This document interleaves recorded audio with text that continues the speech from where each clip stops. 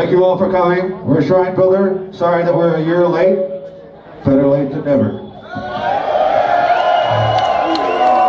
never.